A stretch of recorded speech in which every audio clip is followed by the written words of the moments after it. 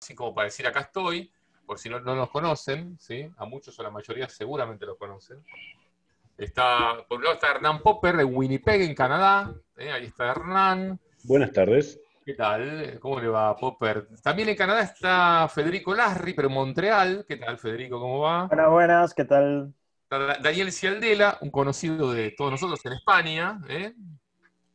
Daniel, que participó mucho tiempo en Dominio Digital. Pablo de León. No sé, ¿dónde estás, Pablo? Estoy en Cabo Cañaveral, en En Florida. Cabo Cañaveral. ¿eh? Nuestro- Así es. El especialista en todos los temas espaciales. Este, Después lo tenemos también a- al amigo Osorio, este, por supuesto, un Alejandro Osorio, viejo conocido ya de dominio digital, participa en todas las emisiones de nosotros, que está en Alemania, ¿estás? Sí. Bien, está, en Alemania. ¿eh? Recordemos que Alejandro estuvo charlando muchas veces con nosotros, él trabaja en Airbus en Alemania. Así que tenemos un poquito distribuida la, la audiencia, ¿sí? Este, estoy acá leyendo lo que ponen. Bueno, che, gracias, por, gracias a todos por estar ahí. Bueno, la idea es que nos comenten cómo están pasando, bueno, cada uno desde su lugar, cómo está viendo este tema, ¿no? Del, del, del coronavirus. Hernán, ya que te presenté primero, Hernán Popper. ¿Cómo va? Acá está Daniela, acá atrás. ¿Dónde está? Ahí pasó Daniela. Hola Dani. Hola, Dani, ¿cómo va? Bueno, eh, cuento un poquito cómo la estamos viendo acá en Winnipeg. Eh, la estamos viendo por televisión desde hace 10 días que nosotros decidimos auto eh, aislarnos. Eh, no es obligatorio, no hay cuarentena, es recomendación de eh, estar en la casa y de salir solamente para eh, cosas imprescindibles. Eh, acá en Winnipeg hay pocos casos todavía, hay unos 19 casos confirmados. En todo Canadá, lo último que escuché es alrededor de 1.400, eh, pero cambia minuto a minuto. Y Winnipeg es, es, una, es un lugar aislado en general. Está a cuatro horas de cualquier lugar más o menos eh, eh, importante, ocho horas de Minneapolis, 12 horas de, auto, dos horas de avión de Toronto, por lo cual estamos aislados naturalmente. Pero llegan los casos, por supuesto, por, eh, por avión. Y lo que se está haciendo acá es, se les está pidiendo a la gente que, bueno, que se guarden, que se queden adentro. Y algunos de los cambios que vimos es, ya hace como dos semanas que desapareció el papel higiénico de todas las góndolas. Nadie sabe todavía por qué, pero desapareció, no hay más papel higiénico.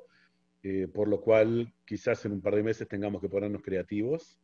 Eh, pero bueno, más allá de eso, desapareció también el jabón en eh, el alcohol en gel, eh, los trapitos anti- antivirales, o el- digamos las, los Lysol que se llaman acá. Y los otros cambios que empezamos a ver es que, por ejemplo, todos los restaurantes levantaron las mesas. En los McDonald's no se puede comer en McDonald's, Tim Hortons, que es la cadena más importante de cafés, eh, sacaron las mesas directamente y solamente se puede hacer eh, pedidos o se puede ir y comprar allá y, y sacar. El otro tema que estamos viendo también es que en los supermercados no hay desas- des- desas- Desabastecimiento. desabastecimiento. Muchas gracias, tengo a mi señora acá Sí. eh, palabras que no uso hace tiempo, eh, pero lo que están empezando a hacer es poner límites en la cantidad de gente que puede entrar en los supermercados al mismo tiempo. El- la cadena más importante acá se llama Costco, y en Costco lo que están haciendo es dejan entrar un grupo de gente nada más y permanentemente están limpiando los carritos, están controlando de que la gente no se encime, están limpiando las góndolas todo el tiempo, eh, cosa de eh, hacerlo lo más eh, limpio posible. Aparte de eso, los chicos, tengo un hijo en la universidad, uno, uno en la secundaria, las clases fueron canceladas.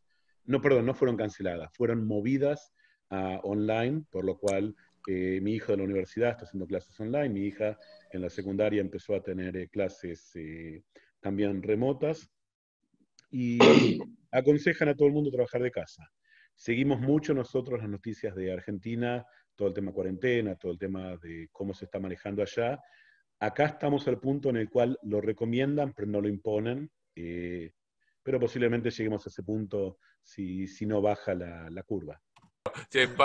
Sigamos entonces ahora con, ya que estábamos en Canadá con Federico Larry, ¿es más o menos el panorama parecido a lo que pasa en Winnipeg?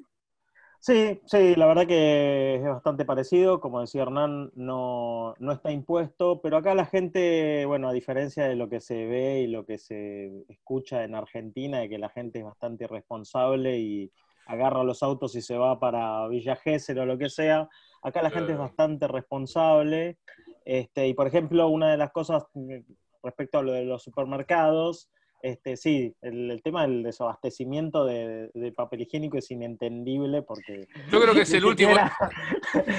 ni siquiera diarrea te agarra nada, o sea, no se entiende por qué se lo llevan. Es que es, un lujo que la gente no quiere perder. yo no entiendo. Cuando falte de todo, es un lujo que no quiere perder. No, hay una teoría, si quieren la comparto. A ver, la teoría del papel higiénico. Es más o menos seria. La teoría que escuché es que dentro de tanta sensación de falta de control y de, falta eh, de, de, saber qué está pasando, la gente se agarra a lo que piensa que puede controlar. Y es como la profecía autocumplida, es como el corralito.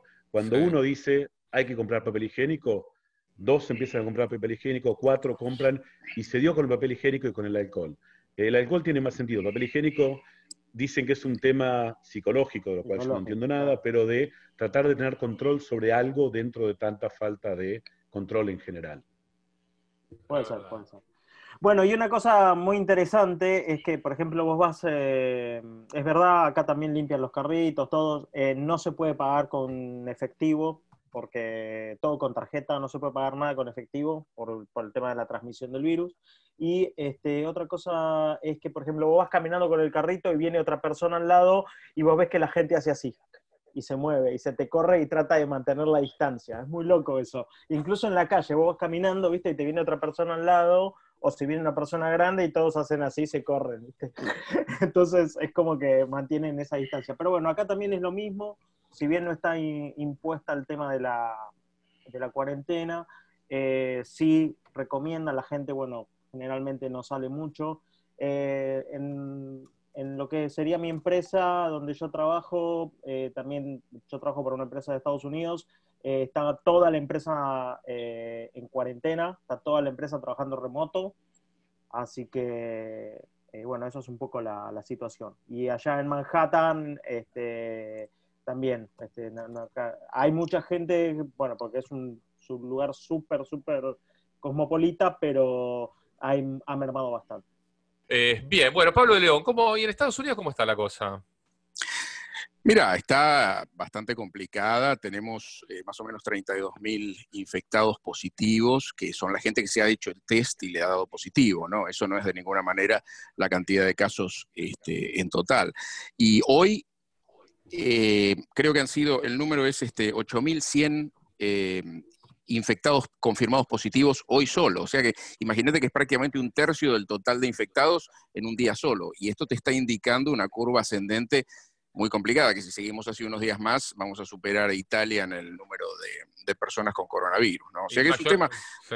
¿En qué ciudad bastante, eh, mira, eh, la mayoría de, los, de, los, de la gente infectada está en New York y está en el estado de Washington, eh, que es el estado más al, noroeste de los Estados Unidos, este, que son estados con más influjo de, gente de otros países, en particular de países asiáticos.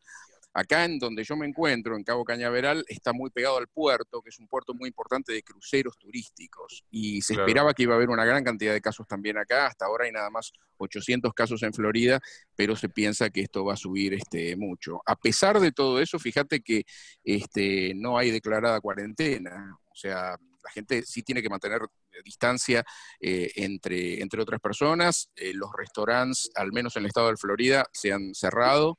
Eh, eso sí, te preparan la, viandita, ¿no? O sea, siguen eh, aceptando eh, pedidos y vos los podés pasar a buscar.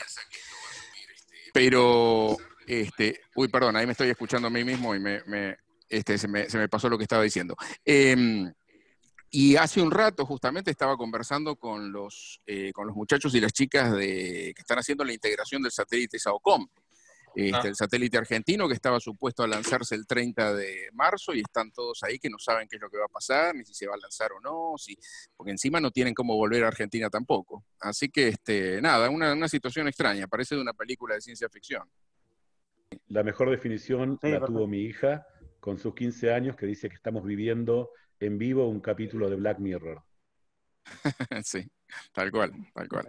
Y el, tema es que no se sabe, digamos, cuándo la curva va a empezar a, equilibrarse. Y hay informes que son muy, muy preocupantes en cuanto a la cantidad de infectados dentro del total de la población de los países, ¿no? Este, así que vamos a ver, Acá en Alemania hoy es el primer día, de acuerdo, hay un instituto, Robert Koch Institute en Hamburgo, y hoy es el primer día, hoy es el primer día, nada más que eso, que la cantidad de infectados respecto de ayer bajó. Eh, dos días atrás había 800 en un día, ayer hubo algo así como mil y pico, y hoy volvimos a 700 y algo. Bien, bueno, eh, ¿cómo está la cosa por Madrid? Eh, ¿Se escucha? No lo sé. Me tendrán que avisar a ver qué se escucha. Bueno, a ver, eh, rápidamente, por un lado los números, hay 1.720 fallecidos. Eh, y eso hay que aclarar que esos son fallecidos donde el gobierno declara que tiene que ver, digamos, la, muerte de esa persona con el coronavirus, porque evidentemente hay otro montón de muertes que por ahí no lo pueden acusar al virus, eh, al COVID-19. Por otro lado, hay declarados declarados, 28.572 infectados, pero bueno, tal como dijo, creo que fue Pablo, o no me acuerdo quién comentó recién, efectivamente el número de los infectados es algo totalmente relativo, es tiene un nivel de relatividad absoluta porque lo que, lo que quiere decir eso es que si una persona llega a un hospital, presenta dos o tres de los síntomas, eh, yo no quiero comentar aquí todo, pero bueno, los síntomas son problemas respiratorios, eh, cansancio, fiebre, mucosidad, eh, quizá dolor de garganta. Evidentemente hay, hay, cuatro o cinco síntomas muy, muy claros, pero bueno, si presenta dos o tres de esos síntomas y le hacen el test, que últimamente no están haciendo suficientes test por día, hay mucha más gente que llega a un hospital y lo devuelven a su casa, lo mandan a su casa para que haga cuarentena en su casa sin hacerle el test. Entonces, estos números de infectados para mí son muy relativos. Es decir, yo me puedo creer que esto podríamos estar en 10 veces o 20 veces estos números de 28.572. Entonces, en realidad los números yo creo que es simplemente una estadística por, bueno, por poner un número y por, por ir todas las noticias hablando de, ah, mira, subieron tanto o murieron tanto, pero realmente es totalmente relativo. Desde lo que comentaba, yo creo que comparto lo mismo que, que ha comentado Hernán al principio, es decir, aquí yo creo que pasamos por tres etapas. La primera fue qué lejos que está China. Yo recuerdo sobre fin de año yo viajé 15 días de vacaciones a Israel. Y cuando vuelvo, vuelvo los primeros días de enero a, Madrid y, bueno, y empieza a aparecer esto en, China y decíamos, bueno, ¿qué habrá pasado en China? ¿Qué lejos que está China? Que bueno, esa fue la primera etapa y eso siguió así en esa etapa de, bueno, de que eso es algo en la otra mitad del mundo, hasta que día a día y semana a semana nos empezamos a dar cuenta de que no estamos tan lejos y que había llamémosle chinos o orientales o gente de todo el mundo viajando en aviones. Entonces, yo trabajo en una compañía aérea, evidentemente, cuando uno tarda dos minutos en razonar, decís, pero es que el primer vuelo que salió de China llegó a Australia, a Berlín, a Holanda, a donde fue, fueron 198, 200, 300 pasajeros, el porcentaje de infectados. Esto es, bueno, empiezan a aparecer. Yo recordaba un juego, que no recuerdo ahora el nombre, pero era un juego de hace mucho eh, mm, que era de una infección, donde vos elegías dónde ponías una infección en el mundo y cómo con eso ibas infectando todo el mundo y bueno, evidentemente ganabas más puntos cuanto más gente infectabas y los principales focos de infección siempre eran los lugares de muy poblados, como India, China, Brasil, donde rápidamente, bueno, eso se esparcía por el mundo, era una simulación, pero estaba muy bien hecho. Bueno, eso fue la primera parte, la segunda fue cuando el gobierno empezó a darse cuenta que se les estaba yendo esto de las manos, empezó a darse cuenta que había otros países como Italia que cerraban la frontera, que estaban tomando medidas de verdad, de verdad, de cuarentena, no simplemente diciéndole a la gente lávese las manos, ¿no? que era una trivialidad en ese momento. Inclusive el gobierno acá en España llegó a decir que esto era simplemente una gripe. Las primeras, yo diría que las primeras dos o tres semanas esto era simplemente una gripe más y que moría mucha más gente de la gripe normal cada año hasta que hace, yo creo que 15, 13, 15 días dijeron, bueno, mira, esto se nos va de las manos. Yo entiendo que habrá otras organizaciones europeas, que, o la OMS, que le habrá dicho, señores, hagan algo, y establecieron algo que se llama el estado de alerta, que esto es muy importante, es decir, el estado de alerta, sacaron un decreto por el cual se restringe la circulación a partir de la semana pasada. Llevamos siete días, si no me equivoco, seis días de, de confinamiento, de cuarentena. Se prohíbe circular, excepto para ir cosas muy curiosas, como ir al supermercado o pasear a tu perro. Eso está permitido, es decir, si tenés un perro, está permitido pasearlo, pobre animal, con lo cual, bueno, en fin. Eh, y estaban permitidas otras cosas, como por ejemplo las peluquerías. En principio se había habilitado la peluquería, pero se habían cerrado los bares y restaurantes. Eh, a lo largo de los días, evidentemente, alguien que tenía un poco más de neurona le dijo, señores, esto no nos sirve, esto lo hacemos de verdad. Entonces se pasó a una situación más restrictiva donde dijeron, no, mire, no, no se puede. Lo único que habilitamos es ir a comprar al supermercado, volver, y además, evidentemente, lo del paseo del perro, hay mucha gente con perro y que bueno, necesita salir. Todo lo demás se cerró, se empezaron a, las obligaron a las empresas, bueno, obligaron, el decreto lo que dice es que recomiendan a las empresas que manden la gente a la casa, excepto en aquellos casos donde no sea posible y donde por alguna razón especial del trabajo no se puede hacer. Ejemplo, un barrendero, un policía, un bombero. Sí. Disculpame. Herbas eh, España y Herbas Francia cerraron. Cuatro días la semana pasada. Sí. Sí, es cierto. Hay, hay, a ver, yo sé, por ejemplo, te voy a hablar un aeronáutico, que yo trabajo en una empresa europea. Nosotros tenemos en este momento el 80% de los aviones parados, solamente se está volando con el 20% y se espera en una o dos semanas que eso pase a cero. Cero quiere decir no va a haber aviones volando, separa todo el tráfico aéreo de esta compañía. Iberia en este momento está en el 75%. Eh, también es otra barbaridad, ¿no? Porque estás permitiendo que aviones de, no van llenos, pero aviones de 20, 30, 50 personas estén circulando. Todos los 380 están en el piso. Todos los, 380. Todos los 380 están en el piso. Los 380 de qué aerolínea? Porque Iberia tiene. Todos. Mm. Bueno, Lufthansa está en el piso, Air France está en el piso, Emiratos claro, está Emirates debe estar en el piso, claro. Aparte tiene mucho Iberia no, por ejemplo. Los 340-600 de los 340-600 de Virgin también. Sí, probablemente haya un montón, es decir, haya un montón de aerolíneas que estén bajando aviones. Mi experiencia, por lo que veo en mi compañía y las que veo aquí de España, se redujo muchísimo pero no es cero todavía. Es decir, todavía sigue habiendo vuelos. Y lo que se espera es un, nuevo, digamos, un nuevo escalón. Lo que le dije era lo que llamaba el estado de alerta. El estado de alerta implica unas ciertas, eh, ciertos, no sé cómo decir, ciertas restricciones democráticas de la gente, o ciertas restricciones de circulación. Entre ellas, el gobierno sacó una normativa por el cual puede confiscar, confiscar producto y puede tomar el control de empresas privadas. ¿bien?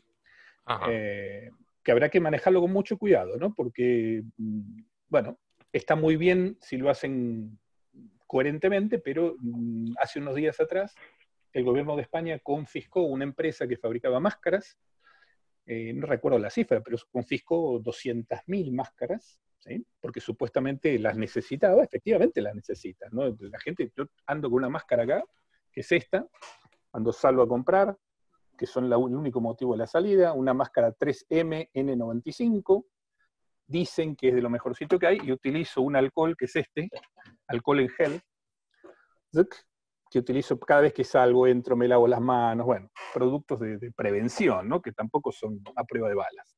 Hay que usar unas gafas, protectores, bueno, pero lo que ocurre es que el estado de alerta produjo, habilitó al gobierno para que confisque 200.000 máscaras sin pagarlas pudiendo decirle, mire, señores, denos la máscara, pero se las pagamos, no, no bueno, Entonces, Maduro es un precursor en Venezuela de confiscar mm, empresas. Claro. es un adelantado.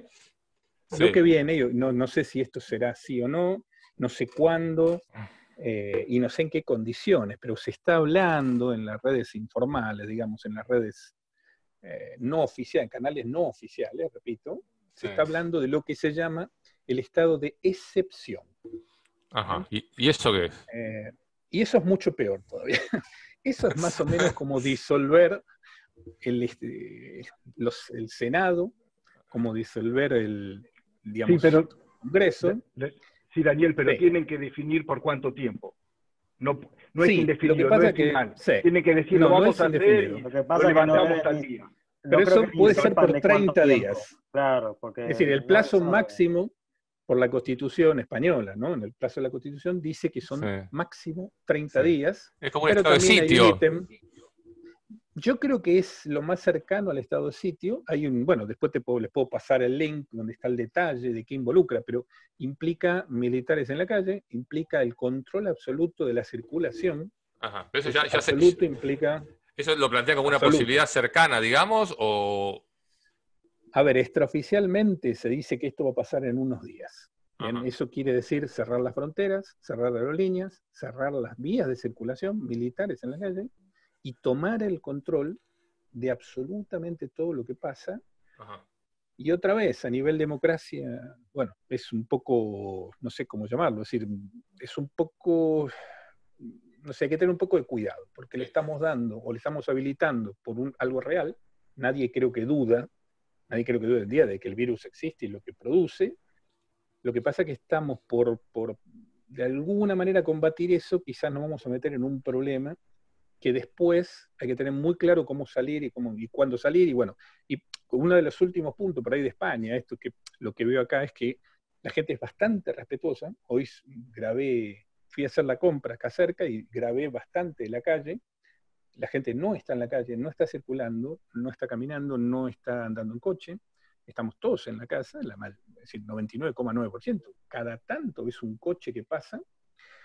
Eh, pero lo que aquí ocurre es que eh, hay movimientos vía redes sociales donde la gente cada hora sale a la ventana a aplaudir por algo, sea por los médicos, sea por los policías. Acá también, acá también. muchos videos de policía yendo al hospital a tocar la sirena, muchos videos de bomberos yendo a la policía. Eh, ya empieza a ver que esto también es, me recuerda un poco lo de China, ¿no? Cuando murió el médico, uno de los primeros médicos que había descubierto este virus, eh, empieza a haber policías, Guardia Civil, Policía Nacional, que se están muriendo, que se murieron de esto. Es decir, ya no es simplemente un ancianito de 90 años con patología, sino que ya hay, estas estadísticas no son públicas, pero de los fallecidos hay un porcentaje menor, menor de gente de menos de 50 años que se está muriendo. una, una, pregunta eh, que me gustaría que me responda cada uno, porque acá nos dicen en, Argentina que el barbijo solo lo tiene que usar el infectado. Sin embargo, vos, Daniel, salís a la calle con barbijo.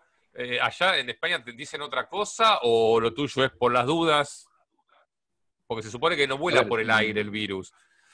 Claro, a ver, yo te cuento lo que me dijo, esto lo confirmé eh, bueno, vivimos a 5 kilómetros de un hospital más grande de Madrid de la zona este.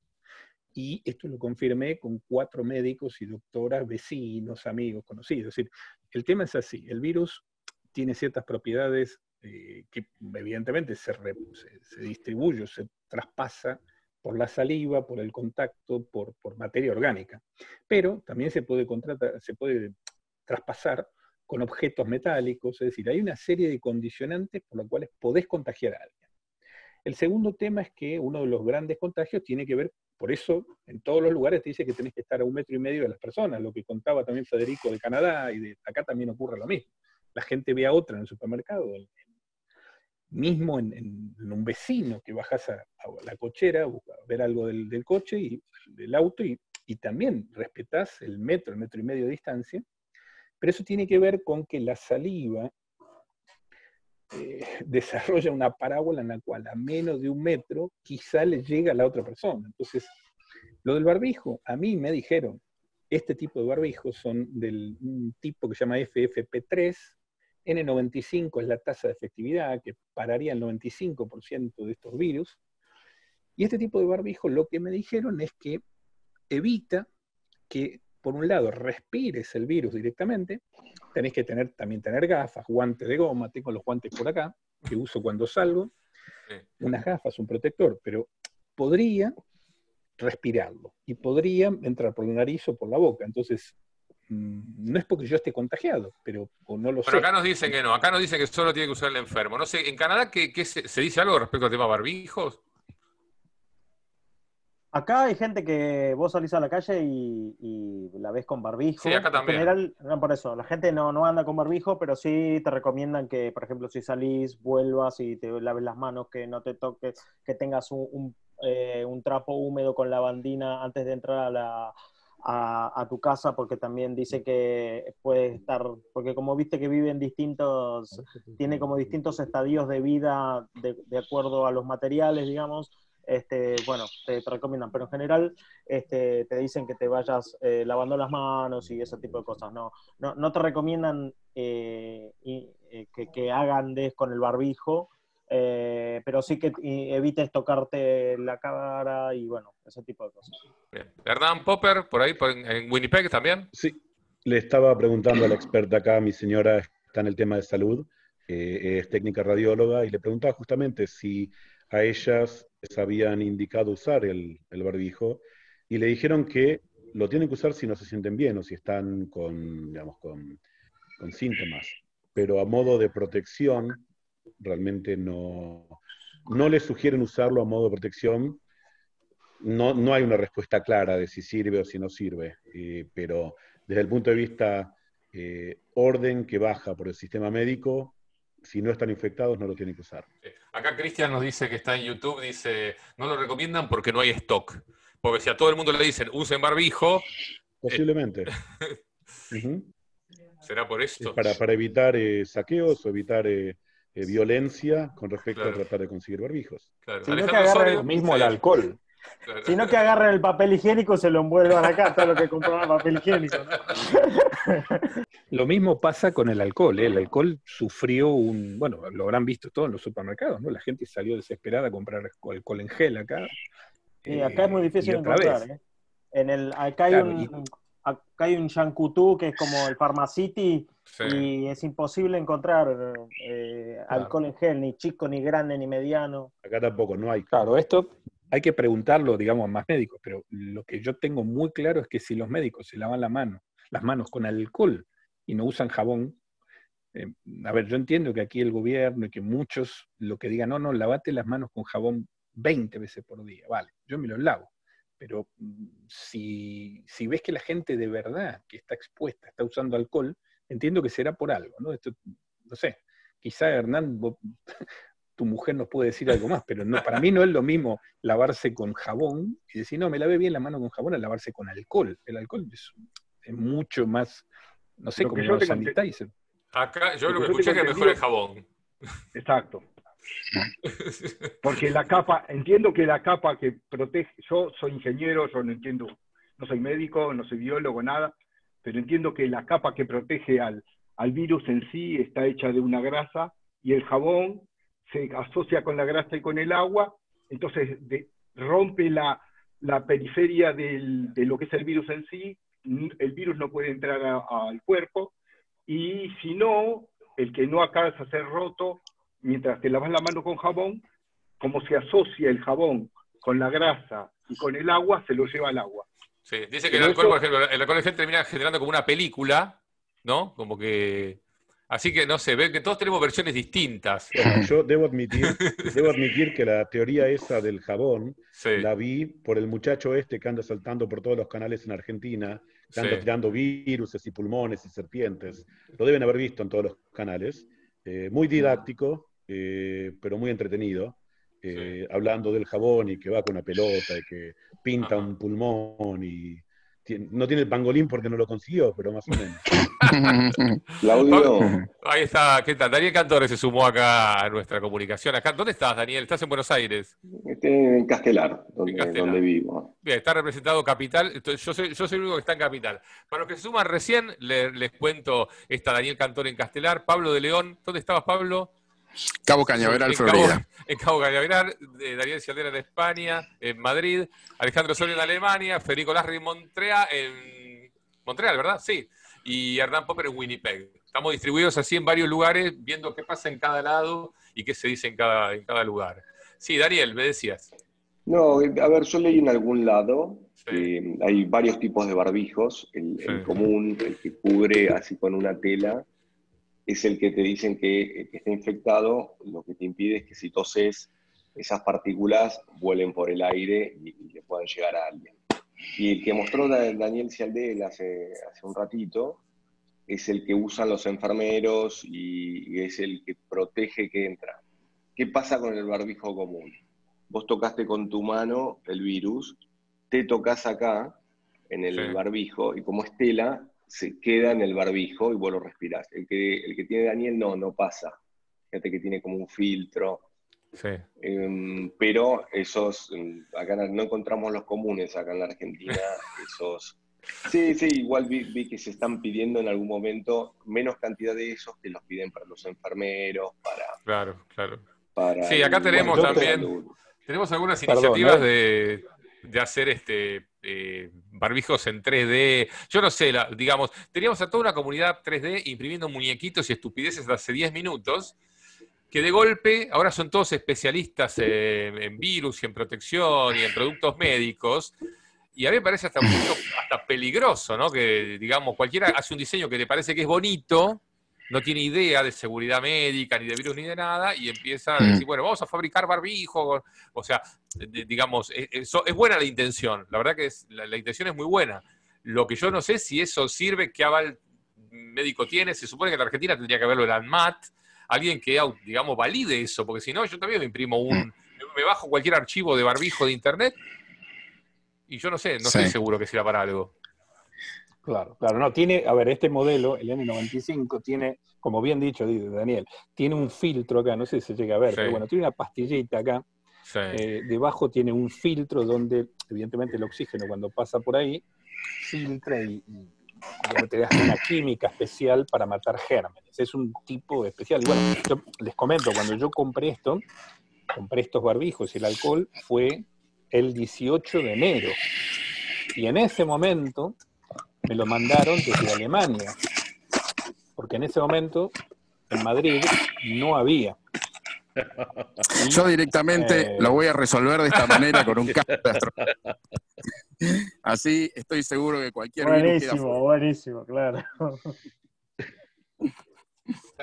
Está, genial. Pablo de León lo resolvió fácil. Puedes ir así al supermercado, te van a mirar raro, pero como solución este, puedes, llegar protegido. a Claro. Che, y en los, laburos de, en los laburos de ustedes, me gustaría que me cuente cada uno en qué trabaja y esto cómo lo afecta. Y a futuro cómo lo afecta. Porque por ahí algunos ya le dijeron, mira, si esto sigue así, el mes que viene vas a cobrar la mitad. Eh, digo, por más que hay mucha gente con laburos formales, eh, también le empiezan a decir, bueno, todo bien, te voy a pagar el sueldo, pero ¿hasta cuándo? ¿En qué momento? Mi miedo es que se rompa la cadena de pagos y empecemos todo así, que nadie, aunque tengas un laburo real o tengas un, no laburo real, un laburo, digamos, con un trabajo en relación de dependencia y cobres un sueldo, ¿en qué momento esto puede llegar a empezar a, temblar, un poco también, no? Este, mira, yo te cuento cómo es la situación eh, acá. Eh, mañana todos los centros espaciales de la NASA entran en lo que se llama fase 4, que es que quedan cerrados completamente a través de todos los diferentes centros que hay eh, de la NASA en Estados Unidos, tanto acá el Centro Espacial Kennedy en Houston, el NASA Headquarters en Washington, el JPL en California, Ames, todos. Eh, van a ser cerrados exclusivamente para, mm, salvo el personal absolutamente esencial. Toda la gente tiene autorización para hacer teletrabajo. En muchos trabajos no lo podés hacer porque estás tratando con un experimento o algo que está en el centro y tiene que estar en condiciones de limpieza determinadas. No lo podés hacer, pero lo que se va a hacer es teletrabajo.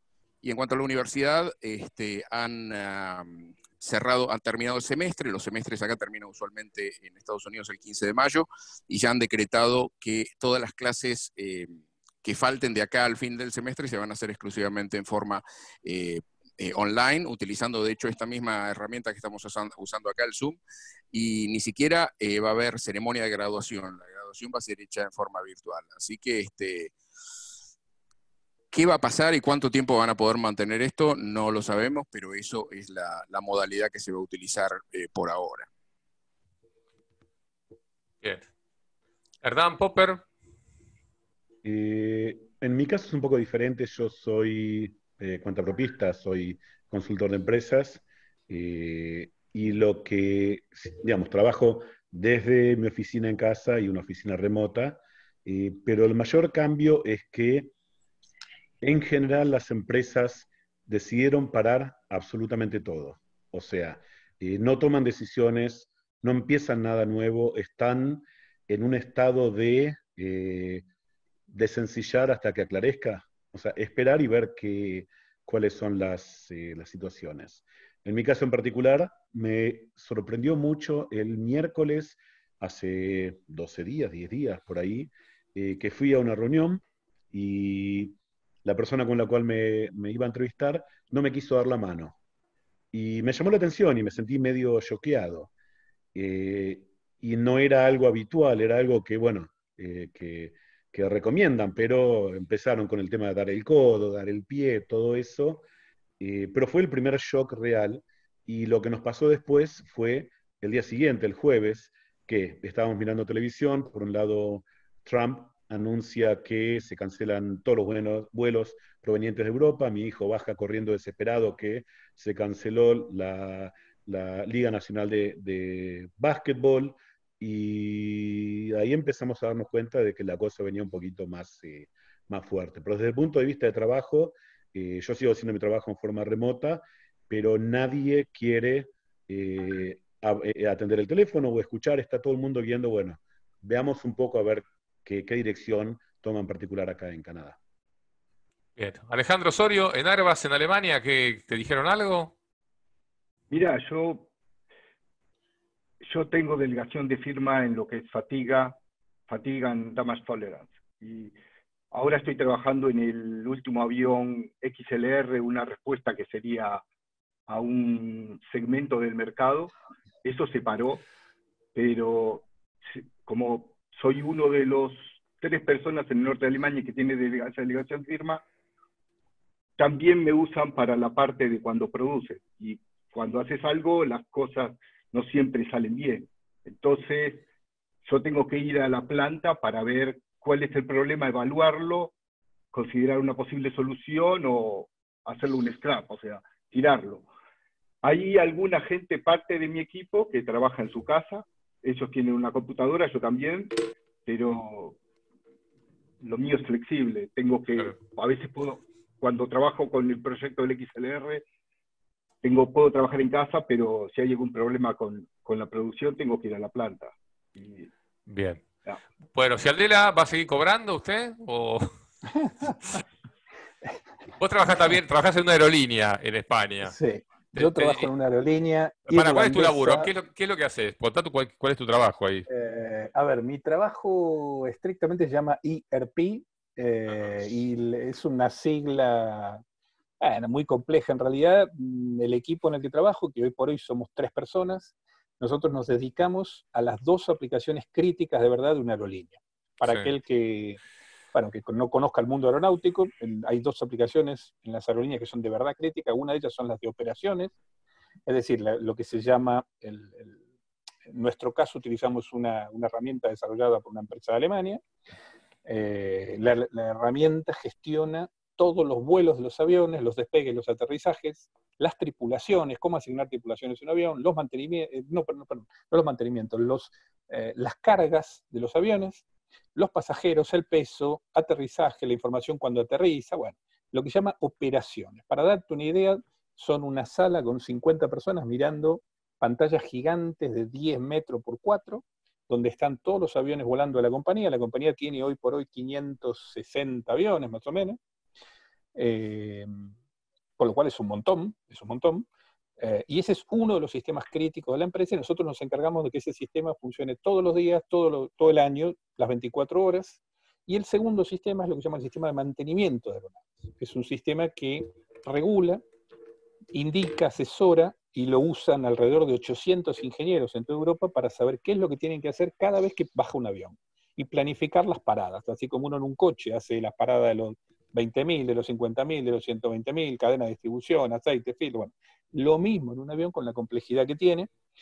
Eh, esos son los dos sistemas críticos. Mi tarea en esa aerolínea, junto con dos compañeros, yo llevo dos años en esta tarea, eh, nuestra tarea del equipo es mantener esos dos, esas dos aplicaciones funcionando porque gracias a eso la empresa opera. La empresa puede no vender pasajes. Puede tener problemas en un, eh, digamos, en, que la gente aborde, tarde en abordar, en, salir de un avión, puede tener otro tipo de problemas. Pero estos dos sistemas, por razones legales o por razones hasta monetarias, son de verdad los sistemas críticos. Entonces esa es mi tarea. Nosotros, cuando empezó todo esto, eh, hace ya siete días. En un momento la empresa dijo, señores, todo para casa. Nosotros tenemos portátiles y estamos, digamos, una vez por semana o cada 15 días podíamos trabajar de casa. Eh, tenemos todo preparado para trabajar en remoto. de hecho, nuestros servidores están en Dublín y nosotros trabajamos en Madrid. Todo el equipo crítico de mantenimiento está en Madrid. Pero bueno, trabajamos en remoto. Entonces, todos para casa. Ahora, a futuro, ¿qué es lo que pasa a futuro? Bueno, lo que seguro sabemos es que en marzo lo vamos a cobrar completo. Bien, vamos a cobrar el 100% del sueldo. Lo que sabemos, casi seguro, salvo que haya algún cambio, es que en abril vamos a trabajar la mitad de horas, bien, en lugar de 8 horas diarias vamos a trabajar 4, y que además cobraremos quizá un poco más de la mitad. Bien, es decir, que en abril ya tendremos el 50% del sueldo. Y en mayo, yo creo que nadie tiene la menor idea que va a pasar ni en España, ni en, Irlanda, ni en ningún lado, porque la expectativa es que esta cuarentena, primero, eh, empezó con Italia, bueno, venía de, la, de Asia, ¿no? Pero empezó con Italia, después España, ahora estamos hablando de Irlanda, eh, UK, que era quien había dicho en un principio que no, que no iba a pasar nada, que ellos no, no, iban a hacer una cuarentena para no afectar la economía, hoy por hoy están diciendo que efectivamente van a parar todo, su sistema de salud también está desbordado con ese plan. Yo creo que esto es un tema obvio, pero cuando un avión despega tiene que aterrizar en otro lado. Y además, cuando pasa por arriba de otros países, esos países no tienen que tener el estado aéreo, el, espacio aéreo cerrado. Bien, esto son normativas de, aeronáutica. Entonces, esto lo que termina es que, a mi visión, dentro de 15 días, el 100% de los aviones van a estar en tierra, no van a volar. La aerolínea va a tener que parar, parar de verdad, eh, y probablemente el mes que viene, no sé qué pase. Hay una solución de gobierno que es, bueno, pagarte un poco, pagarte la mitad. Eh, técnicamente nosotros tenemos trabajo por, por, años, es decir, nosotros, eh, aunque la aerolínea para, nosotros hay seis o siete proyectos muy grandes que hay que llevar adelante este año, que los podemos hacer igual. La aerolínea habló de que tiene 4 mil millones de euros en caja para darles una idea del volumen que es, con lo cual entiendo que eso es capital suficiente para aguantar un año sin recaudar, pero bueno, otra cosa es que lo quieran gastar en, recursos humanos, ¿no? Eso es distinto. Eh, con lo cual no sé qué pasará. Lo único que sé es que el mes que viene cobraremos un poco más del 50%. Bien. Eh, y tendremos que aguantar. Bien, bueno, Matías Benítez que dice, bueno, dice que en el Reino Unido no es obligatorio, salvo para pubs y restaurantes. Si quieres sumarte a la charla, Matías, este, mandame un mail, computadora.gmail.com, y te sumamos acá a la charla también con, este, con todos nosotros. Eh, Daniel Cantore, cuéntanos sobre tu trabajo, cómo impacta, cómo ves el futuro de, tu empresa. A ver, hola, ¿cómo va? Eh, un par de cosas. Algo, algo que, que a ver, escuchaba. Eh, por, lo menos Daniel, hace un rato yo hablaba con un amigo de, España, eh, el gobierno en, diferentes países ayuda a las compañías que se están para, llegar a, pagar los sueldos. Por ejemplo, creo que en España existe algo que se pueden como ir al paro y el gobierno paga hasta el 85% del, del sueldo del empleado. Eh, es algo que acá en Argentina creo que vamos a sufrir mucho porque todas las compañías que no, no puedan pagar sueldos se van a fundir directamente, excepto que haya algún tipo de plan.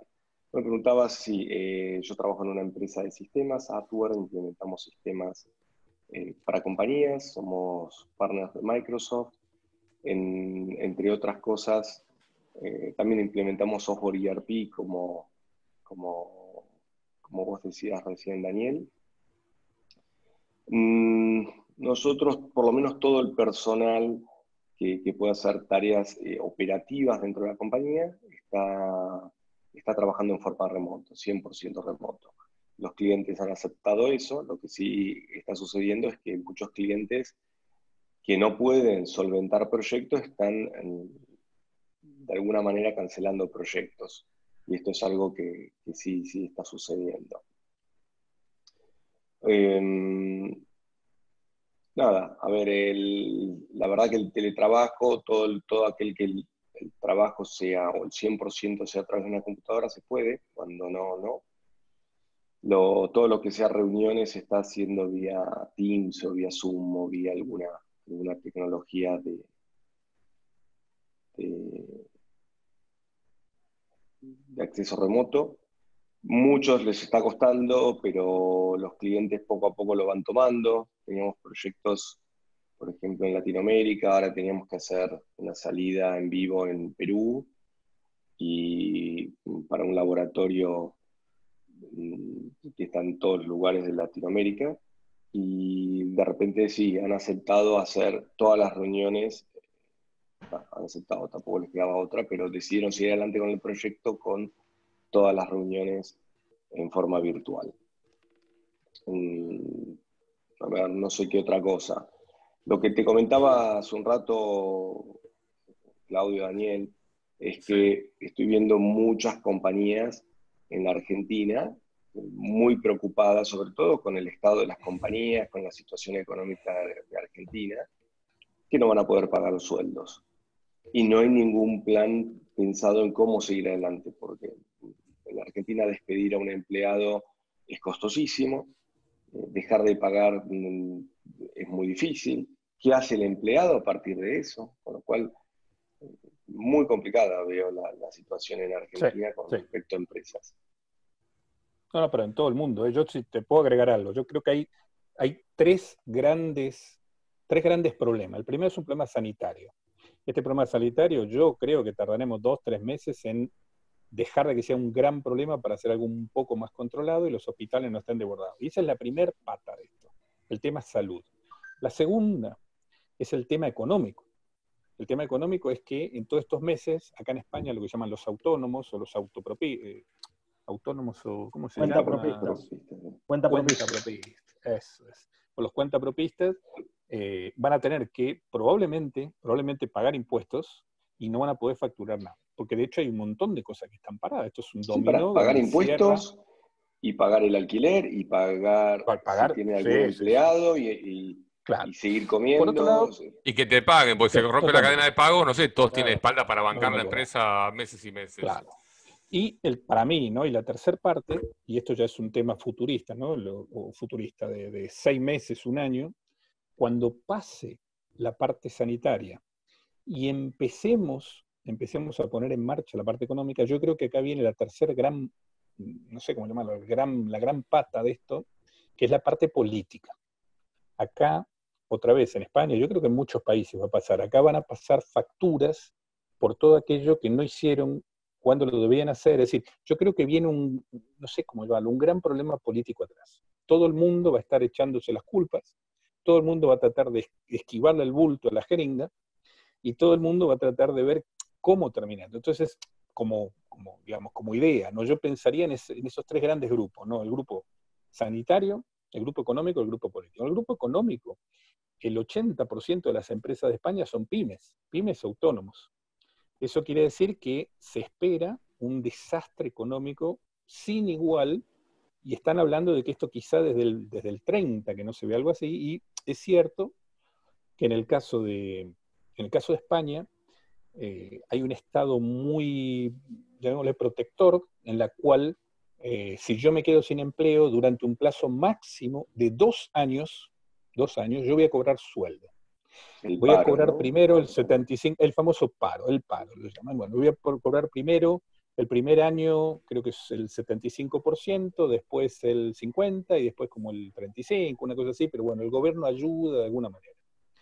Y en estos momentos el gobierno eh, está saliendo a decir que va a generar o está ofreciendo y publicitando unas medidas económicas para pymes, para empresas y para personas. Porque también, así como el 80% son pymes, en España se calcula que el 75% de las familias están con una propiedad hipotecada. Entonces, que en nuestro caso también. Entonces, eso quiere decir que si vos no tenés ingresos, primero vas a tratar de comer, luego de pagar la luz, el agua, y después probablemente de pagar la hipoteca. Entonces, eh, y aquí también, otra vez hay unos temas mitad, llamémosle, mitad económicos y mitad políticos, porque si el gobierno realmente ayuda lo que haría falta, el gobierno tiene que ir a la quiebra. Es decir, España, España hoy en día tiene el 100% está endeudada en el 100% del Producto Bruto, ¿bien? En el PBI, 100%. Eh, con lo cual, imagínate que esto lo llevaría a una deuda del 120%, es decir, esto es incalculable, si realmente hace lo que propone para paliar la crisis económica. Algo que Daniel, no creo que sea posible. yo no soy economista, de vuelta, soy ingeniero, pero tengo entendido de que el 100% no es tan grande, que hay otros países que tienen, que el problema no es lo que te endeudas, sino la posibilidad que tenés de pagar. Y Alemania salió a, a, decir que hay un paquete de medidas. Acá en Alemania, por ejemplo, eh, hay una regulación especial que las compañías pueden pedir trabajar parcial tiempo, vos trabajas menos, se te paga el 60%, el 30% lo paga eh, el gobierno, el, el 30 de ese 60 te lo paga el gobierno, el 30 te lo paga la empresa, pero, es, pero lo que te paga el gobierno es de, supongo que en España, como acá en Alemania, vos pagás un porcentaje, creo que es el 15% de tu sueldo, para el fondo de desempleo. El tema es que, claro, sí, o sea, si todo el mundo se queda desempleado, la plata esa que tienen, que van juntando de lo que vos pagás del fondo de desempleo, no, va, no alcanzaría a cubrir el 100% de la población.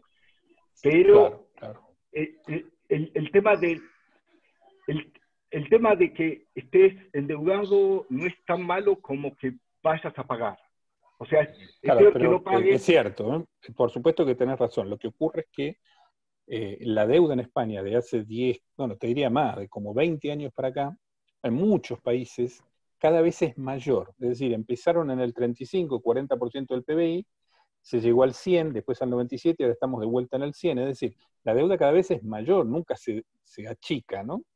Gracias a políticas sociales, a, digamos, subvenciones, a ayudas que da el gobierno, un montón de cosas, ¿no? Que eso por ahí es otro tema, fuera de esto. Pero eh, de verdad, Después de esta crisis, cuando en unos meses o en un año podamos decir que estamos saliendo de la parte, bueno, hayamos salido de la parte, llamémoslo sanitaria, y empecemos a ver la luz del túnel en la parte económica, lo que está claro es que el país no va a tener más dinero, tendrá mucho menos y más deuda. Entonces, sí, evidentemente, si España tiene ese, ese porcentaje de deuda, es porque el, BC, el Banco Central Europeo se lo prestó, y ahí hay otros países peores pero no es que sea bueno. no, no, seguro que no es bueno, pero de hecho Italia, si recuerdo bien correctamente, Italia le pidió a la, porque claro, para pertenecer al euro tenés que tener una deuda, eh, o sea, no podés eh, gastar, el famoso gastar más de lo que te ingresa, y Italia le pidió al, al, Banco Central Europeo si podían subir ese porcentaje. Entonces, como que, por ejemplo, para mantener el euro, para el valor del euro, vos tenés que tener una cierta diferencia entre lo que te entra y lo que te sale. Italia pidió ahora, por el problema que tiene, si pueden cambiar esa, ese porcentaje. Yo creo que tenés razón, la situación es, es fea, pero todavía hay humanos y vamos a tener que solucionarlo. Yo me acuerdo cuando fue la quiebra de Lehman Brothers o algo de eso, y, era... Lehman Brothers. Salió, sí, Lehman Brothers. Pero esto es mucho peor, ¿eh? Esto es infinitamente peor, ¿eh? Yo me acuerdo que salió, yo me acuerdo que salió Merkel a decir, quédense tranquilos, todos los que tienen el banco hasta 100.000 euros, el Estado los, y hay un fondo, acá en Alemania los obligan a tener un porcentaje de la plata, no pueden prestar la plata, dice, Alemania va a salir a respaldar toda esa plata y va, va, va, va. Yo estaba histérico, me quería ir de Alemania, digo, acá me van a sacar hasta lo que, hasta lo que no es mío, y, y me acuerdo que fui a hablar con el banco y el banco me dijo, mira, Claudio, después de que todos se maten, van a quedar 10 y bueno, las cosas van a tener que irse para adelante. O mm. sea, no termina el mundo. Es jodido, va a estar jodido seguro, pero, pero hay, hay un día después, ¿no? Pablo. Sí, vos sabés que yo estaba pensando este, cuando estaban hablando de la situación acá, porque eh, Florida es un estado que depende casi exclusivamente del turismo. Y el tema del el cese de los vuelos, el cese de los cruceros y todo eso está produciendo un problema tremendo, pero tremendo. Hay muchísima gente que trabaja en los restaurantes, que están todos cerrados, este, salvo para, como les decía antes, para eh, llevar comida, este, para hacer eh, take-out o delivery de comida. Este, y el tema de los hoteles, están cerrando la mayoría y demás. Y eso en, este estado en particular, que es tan dependiente del turismo, se va a sentir muchísimo. ¿no? Ya he hablado con gente que me decía que ya a partir de la semana que viene no van a trabajar más. Y acá, viste, las leyes laborales, como corresponde a, un país de las características de Estados Unidos, son que no vas a trabajar y no cobras de inmediato. Ya de acá a la semana que viene ya no tenés más sueldo. Y eso va a generar problemas porque la gente que alquila, la gente que tiene que pagar hipotecas y demás. O sea que este, es, un, em, es un problema económico que no se sabe eh, cómo se va a resolver. Está hablando el, el, gobierno de, Trump, bueno, de, que van a hacer una especie de paquete de incentivo donde le van a dar a cada persona, no se sabe si mil dólares o dos mil dólares, este, pero claramente eso no te puede mantener demasiado tiempo. Así que este, vamos ¿Cómo a ver son las leyes laborales eh, allá en, Estados Unidos? ¿Eso cambia según cada estado? No, cambia según cada estado. No, no, no, no, no hay indemnización ninguna. Vos te dan una cosa que se llama el pink slip, que es un pedazo de papel rosa que dice usted está despedido y con eso te vas a contaduría, cobras tu último cheque eh, de lo que las horas o los días que te quedaron hasta el momento que te dejaron de pagar y se terminó. O sea, todas esas cosas de la indemnización y el eso no, acá no existe. En mes de preaviso, todo eso allá. No, no, no, no, no, no, eso chao. O sea, no, no, no, eso es una, es una fantasía, es una fantasía argentina. Este, digamos, es, eh, digamos, en, en, Estados Unidos este, eso sería ciencia ficción, digamos, ¿no? Eh, terminas de trabajar y se te termina de pagar. Em, con lo cual eh, va a ser una situación muy, muy complicada, sobre todo para gran parte del pueblo de los Estados Unidos que vive, como se dice acá, paycheck by paycheck, quiere decir que no tienen ningún ahorro, ¿viste? Hay gente que depende exclusivamente, siempre está un, sueldo de la, de la bancarrota, claro. pero no hay seguro de desempleo, todo eso, ¿no hay? No, no, no, no. no, bueno, tenés este, en algunos en algunos casos sí tenés un pequeño seguro de desempleo, pero es, usualmente es privado y tenés una cantidad de, servicios que vos podés contratar, como Alflac y otros, que vos eh, pagás una cuota mensual y si se te queda sin trabajo, este, te pagan un sueldo, un porcentaje del sueldo. Lo que pasa con esas cosas es que hay una pequeña cláusula, como siempre, la, es como la letra, la letra chiquita de los contratos de celulares, ¿viste? Este, que te dice que si tienen que dejarte de pagar. Eh, si, si perdés el trabajo por lo que se denomina un act of God, un acto de Dios, ¿no? Este, medio en la, en la, jerga religiosa este, de los Estados Unidos. Eh, que vendría a hacer esto, ¿no? Porque esto de alguna manera es, un acto que, no se tiene demasiado control. Este, no es un terremoto ni es un huracán, pero bueno, podría ser considerado como algo que, vino y no fuera se, de control. Y no se fuera de control. Este, entonces, las cláusulas de ese tipo de contratos dice que bajo un act of God eh, ellos no tienen la obligación de pagarte.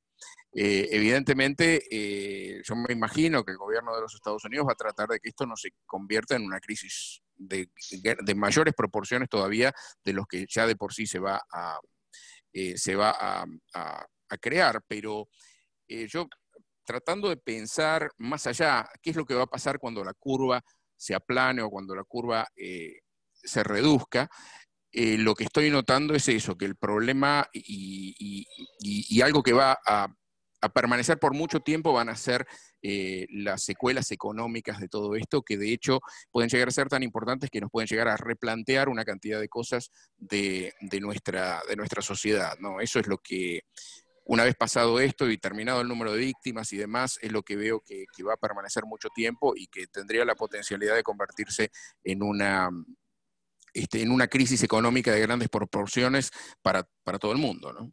Ah, bueno, de eso nosotros no sabemos mucho, así que vamos a ver. Eh, si querés, definitiva, el, que, el, que, depositó dólares recibirá dólares.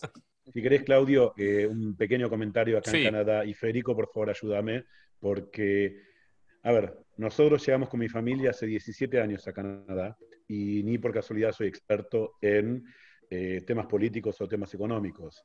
Pero Canadá es un país más socialista, es un país más eh, digamos, igualitario de alguna forma, en el cual la diferencia entre el que menos tiene y el que más tiene es muchísimo menor que en Argentina, que en Estados Unidos y que en otros países. Eh, existe un seguro de desempleo en el cual uno colabora eh, mientras está empleado, cuando está en relación de dependencia, que si perdés el trabajo es igual que lo que escribía Pablo, ya está, te vas, muchas gracias, no te pagan más nada, pero podés aplicar ese seguro de desempleo por aproximadamente seis meses. Y teóricamente, en condiciones normales, en seis meses volvés a reinsertarte. O sea, algo que nosotros aprendimos acá, que nos llamó mucho la atención, es que cuando la gente pierde el empleo, no entra en pánico, no se desespera, sino que busca otro y consigue. Esto es antes del virus, ¿no? Eh, pero es la situación normal es, te quedas sin trabajo, buscas otro y lo conseguís. Eh, entonces, el seguro de desempleo eh, de los seis meses siempre funcionó. Los anuncios que se hicieron durante esta semana fueron que, y que es un cambio radical, que para cuentapropistas o para, digamos, autónomos, también van a poder aplicar a una parte del seguro de desempleo si necesitan para poder eh, seguir viviendo. Ahora, el punto que es más, más eh, importante, como decía Daniel en España, eh, si yo tengo que, que, que estimar, 80-85% de la gente está hipotecada porque es la forma de vivir. Yo compré una casa hace 17 años y me quedan 8 años más para pagarla. Es lo normal de la sociedad. Ahora, con los despelotes económicos o con el, digamos, con el desbarajuste que se va a armar por el tema del virus, mucha gente no va a poder pagar esa hipoteca. Entonces, lo que ya se anunció es que los grandes bancos eh, van a permitir eh, eh, saltear pagos de la hipoteca y que se está hablando de ya por ahora hasta seis meses de no tener que pagar hipotecas. ¿Por qué? Porque, de vuelta, la gente tiene que comer, la gente tiene que tener salud, por lo cual nunca en la historia se hizo un cambio de este estilo en, eh, la sociedad canadiense. El otro tema que también eh, llamaba bastante la atención, por primera vez eh, desde que se fundó Canadá, se cerró en la frontera con, Estados Unidos. O sea, no hay circulación con Estados Unidos. Nunca había pasado. Por lo cual, algo que me sorprende, y por supuesto, Federico, si, si vos escuchaste algo diferente, acá no se está hablando de los, del riesgo o del problema económico que va a quedar después. O sea, se está hablando de cómo vamos a pasar esto, cómo vamos a cuidar la salud, cómo vamos a achatar la curva famosa, pero eh, no es una discusión habitual eh, el, caos que puede llegar a haber después, que sí lo veo mucho en, bueno, eh, cuando estoy mirando televisión de, Argentina o de Estados Unidos, quizás es porque no nos damos cuenta o quizás es porque... No, yo creo que debe ser la mentalidad también. Yo te digo que yo trabajo... Yo te digo que yo trabajo en una empresa americana y, tengo un amigo que trabaja en una empresa canadiense y la, la mentalidad que tienen es totalmente distinta. Eh, mi amigo que trabaja en la empresa canadiense, él sea en las 6 de la tarde y se va, mañana nos vemos, tranquilo. Yo trabajo siete días a la semana, todos los días. Federico, contanos cuál es tu laburo, que sos el que faltaba contar de qué trabaja y para cuánto tiempo tenés laburo. yo, trabajo, yo trabajo en una empresa que se llama Collective que lo que hace es, este, nosotros le vendemos... Vos estás en Montreal, recordémosle a la gente que se suma recién. Somos casi, hay casi 90 personas este, mirando esta transmisión en YouTube en este momento, que después este video queda además pues, pues, publicado. Contanos, Federico. Bueno, y yo trabajo en la parte de Big Data y Analytics, este, y nosotros lo que hacemos es extraer diferentes informaciones de distintos CRMs, como Salesforce, Sugar CRM, Soho, y bueno, eh, tenemos eh, mucha información que que tenemos para los clientes, que ellos se conectan a nuestro portal y pueden ver las oportunidades de venta y bueno, hay un montón de cosas más que, hacemos. El tema de mi laburo, en realidad no hay ningún... Nosotros trabajamos 100% remoto, o sea, toda la empresa está trabajando remoto. Eh, yo creo que se va a ver una merma en el sentido de, por ahí, como hablaban los chicos, algunas empresas no van a querer invertir ahora por este tema de los costos en nuestra aplicación. Creo que va a haber una merma en ese sentido. Por ahora los jefes, los dueños de la empresa no dijeron nada. Nosotros todas las semanas tenemos una call conference, toda la empresa usando Zoom, eh, donde hablamos de, esto y bueno, eh, ellos dijeron que no hay ningún problema, seguimos trabajando normalmente, los paychecks este, que son cada 15 días, tanto en Estados Unidos como en Canadá, eh, se ven bien, digamos, y no, no hay ningún problema, no hemos tenido ningún drama. De hecho, hay muchísimo trabajo para hacer. Así que en ese sentido no, no creo que se vea afectado por ahora, gracias a Dios, la verdad que no.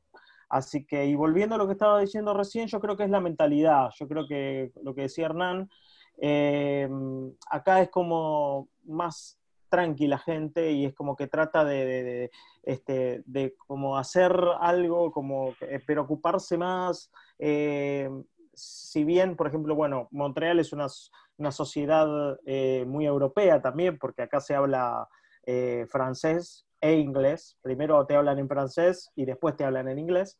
Este, y acá la, sociedad es como más unida, ¿no? Como más, este, como que van más para adelante, no es tan individualista por ahí como, como en Estados Unidos, por eso yo pienso que, que, lo mismo, no se habla tanto de, uy, qué lío, qué va a pasar, qué, sé yo, sino que saben que el gobierno los va a apoyar y saben que, que se va a poder salir con, con, problemas, obvio, porque vos tenés que pensar que cuando esto termine, eh, las empresas, hoy estaba leyendo que la TAM anunció que les va a pagar a todos sus empleados la mitad del sueldo en todo, todo lo que es eh, los 46 mil empleados, ¿no?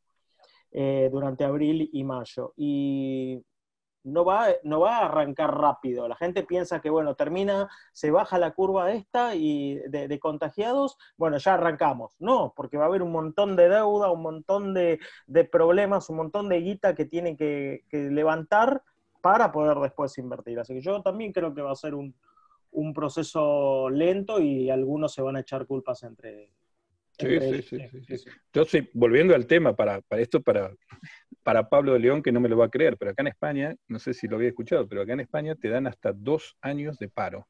Eso quiere decir que si te echan, o evidentemente si te echan del trabajo, podrías cobrar durante dos años, cada vez menos cobras, pero bueno, podrías tener hasta un pequeño ingreso durante dos años de tiempo. ¿no? Entonces, la realidad acá es que es un poco lo que comentaban también por, bueno, lo comentaban de Canadá, ¿no? que son países más socialistas en los cuales cierto tipo de, llamémosle, de la mano de gobierno que te ayuda. Y por otro lado, mm. y esto no es un chiste y no es tampoco una leyenda urbana, es un conocido que tengo, que la empresa hace seis meses estaba reduciendo personal, lo echaron, y yo le pregunté, le digo, bueno, mira, ¿qué vas a hacer? ¿No te pones a buscar trabajo? Me dice, no, no, yo me voy a tomar un año ahora con lo que me pagan para vacaciones, pasear, un año. Un año. Yo digo, pero, a ver, qué puntería. Y es ¿eh? algo normal. Lo que pasa, Daniel, es que eso se puede sostener cuando el porcentaje de personas que están en esa situación es pequeño. Porque si vos, ante una situación como la que estamos viviendo ahora, te encontrás con un gran porcentaje de, la población así, no hay, no hay presupuesto nacional que lo aguante. El país entero se va a la bancarrota. No hay manera. No hay manera. Igual, a ver, también esto vamos a entrar en otro tema también que también es medio económico y medio político. Yo creo que en el mundo, en el mundo, eh, y salvo raras excepciones, todos los sistemas estatales de jubilación y todos los sistemas de cobertura señal están todos quebrados. Bien, todos. Sí. La frase, por ahí también Entonces, la frase que acá se escucha mucho es que eh, el sistema de jubilación, el sistema de jubilación español, es una estafa Ponzi. Bien, eso es lo que... Ponzi Scheme, claro. sí. Es así, es un sistema que es un sistema, no sé cómo llamarlo, demoníaco. Porque, una pirámide. Bueno, es una estafa. Y eso ocurre. Lo que pasa es que vos tenés que tener en cuenta cuando los sistemas previsionales se empezaron a utilizar, que si no me equivoco, creo que fue en Alemania, que fue este Bismarck el primero que lo implementó, era en una época donde la gente vivía 50 años. Entonces le decía, usted se jubila a los 55 aporta desde los 20 o desde que empieza a trabajar, y para ese momento la tercera cuarta parte de la gente ya se había muerto, entonces en realidad aportaban toda su vida y los que recibían era un porcentaje muy, muy pequeño. Hoy día que la gente vive 90 años, es un sistema insostenible, ¿viste? Por eso constantemente quieren, por ejemplo, acá en Estados Unidos, yo recién me voy a poder jubilar a los 67 años. Yo me acuerdo que mi abuelo se jubiló a los 55. Entonces, este, van a seguir extendiendo la edad, extendiendo la edad, ¿viste? Bueno, eh, hay, muchos que están hablando que esta pandemia va a salvar los sistemas jubilatorios, porque y mm. recontra cruel, ¿no? Lo que dicen, pero la realidad es que la pandemia, ¿dónde produce mayor mortalidad? Los ancianos. Sí, sí, la gente, la gente grande, mayor, muy mayor. Más de 60, 65. Porque en realidad, a ver, volviendo un poquito a la economía de lo que hablábamos, eh, de toda esta pirámide que se va desde abajo, el empleado, que es el que consume, el empleador, el banco, el gobierno, quien sea. Acá lo único que estamos mirando es quién paga las cuentas, en realidad, pero alguno la va a tener que pagar. Eh, en Estados Unidos la paga el empleado, que lo, echan y ya está. En, Argentina las pymes que no pueden echar a la gente, entonces se van a fundir. Cuando se funda el Estado se va a fundir. Eh, los mm. bancos van a dejar de cobrar hipotecas, van a dejar de... Eh, no les van a pagar la tarjeta de crédito, van a quedar... Acá en Argentina, no me dejen mentir, pero estamos hablando de 110, 120, 130% de interés anual en las tarjetas de crédito al que no lo paga dos meses ya es impagable, digamos. Es. Porque aparte se acumula, acumula de intereses sobre intereses, es exponencial. Sí. Eh, a, ver, y, interés todo lo vamos a estar pagando. Eso es interés compuesto. Sí, es interés compuesto, tal cual. Tal cual. Así que es, yo creo que la vamos a pagar todos. que se diga qué bueno yo tengo empleo, no pasa nada, y, qué bueno gasto menos porque no salgo a mi casa. O sea, va a ser un mes, dos meses, pero tarde o temprano en algún momento lo vamos a estar pagando. Lo vamos a estar pagando. Y los gobiernos van a tener que ayudar y los gobiernos yo creo que se van a tener que solidarizar entre uno u otro porque va a pasar lo mismo entre países y países, porque las cuentas no se van a pagar, porque la economía se va a cancelar, porque no le van a mandar más productos o por lo que sea. Sí. Lo que pasa es que, viste, hay que ver en el tiempo cuánto se extiende este, esta, esta pandemia, porque eh, alguna gente decía, bueno, esto en un mes o en dos meses ya se va a terminar, va a ser una cosa del pasado, vamos a empezar a, este, arreglar todo, etcétera. Pero yo estoy viendo algunas eh, progresiones que están haciendo, que están hablando de septiembre, y están hablando de arriba de 50% de la población de cada país eh, infectada en un punto determinado. Entonces, si efectivamente es así, no se toman eh, las, las, medidas de precaución que están siendo recomendadas por los infectólogos, va a terminar pasando eso y vamos a terminar extendiendo em, esta pandemia meses de meses que, va justamente a, retrasar cualquier eh, mejoramiento eh, económico que, podamos hacer. Va, a ser una crisis verdaderamente este, complicada, ¿no? La que se va a venir después de que termine la, crisis de, los virus. una pregunta. ¿La alternativa es que nos mata el virus o nos mata la situación económica? Sí. acá, en Alemania, acá en Alemania lo que se está hablando, igual que en Canadá, se están haciendo eh, caracteres de eh, Merkel como Palpatín, porque les incomoda mucho, les incomoda mucho que ah, hoy eh, sacaron una, una prohibición para estar en la calle más de dos personas. Y, la gente está que trina con eso. Eh, creo que, si bien también piensan en la situación económica, porque bueno, tenemos que ir a trabajar, el, ok, el tema, un poco como en Canadá, están pensando en las libertades individuales, ¿no? Claro.